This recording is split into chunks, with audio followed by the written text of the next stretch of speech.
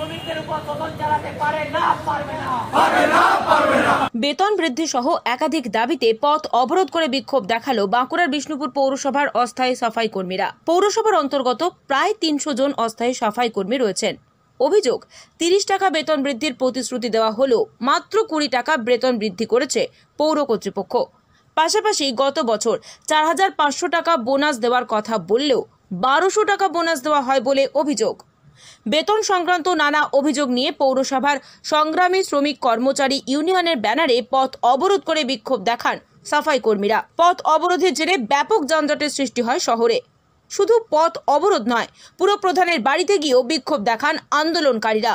দাবি পূরণ না হলে পুরসভাকে অচল রেখে আন্দোলন চালিয়ে যাবার হুঁশিয়ারি দেন বিক্ষোভকারীরা। মোট আমাদের তিনশো এরকম অস্থায়ী সাফাই মজদুররা রয়েছেন, যারা সরাসরি পৌরসভার দ্বারা নিযুক্ত। তাদেরকে একটা কথা দিয়েছিলেন আমাদের পৌর চেয়ারম্যান। এক মাস আগে তিনি কথা দিয়েছিলেন যে তিরিশ টাকা করে দৈনিক মজুরি বৃদ্ধি হবে। এই আন্দোলনটা বিগত ছ মাস ধরে করা হচ্ছে। মুখ্যমন্ত্রীর একটা অর্ডার রয়েছে পশ্চিমবঙ্গ সরকারের। সেইখানে পরিষ্কার বলা আছে, প্রত্যেকটি সাফাই মজদুরকে তিনশো বিয়াল্লিশ টাকা দৈনিক মজুরি করতে হবে। সাফাই মজদুররা সেই মজুরিটিই চাইছেন। ওরা কোনো অন্যায্য দাবি করছে না। কিন্তু কথা হয়েছিল যে একশো আশি টাকা মজুরির সাথে তিরিশ টাকা মজুরি নাকি এই মাস থেকে বৃদ্ধি করা হবে। সেটা আমরা যখন এই মাসে বেতন পেলাম, দেখা গেল মাত্র কুড়ি টাকা বেতন বৃদ্ধি করা হলো। ইন্টারনাল নাকি একটা অর্ডার বার করেছে, সেখানেও নাকি ওই কুড়ি টাকার কথাই বলা আছে, আর কোনো রকম বৃদ্ধির কথা বলা নেই। দ্বিতীয় একটা আমাদের এই আন্দোলনের কারণ হচ্ছে, গত বছরে আমাদের পুজোর অনুদান বাবদ সাড়ে চার হাজার টাকা পাওয়ার কথা ছিল।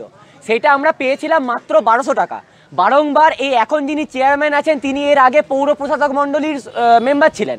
তিনি তখন কথা দিয়েছেন যে আমরা বারবার চেষ্টা করছি চেষ্টা করছি যে শ্রমিকদের বকেয়া তেত্রিশশো টাকা করে মেটানো হবে। এমনকি যখন তিনি চেয়ারম্যান হলেন, তখনও তিনি কথা দিলেন যে আমরা তেত্রিশশো টাকা করে মেটানোর কচরে আমাদেরকে পুজো বোনাস দেবো বলেছিল, কিন্তু সেটা আমরা পাইনি।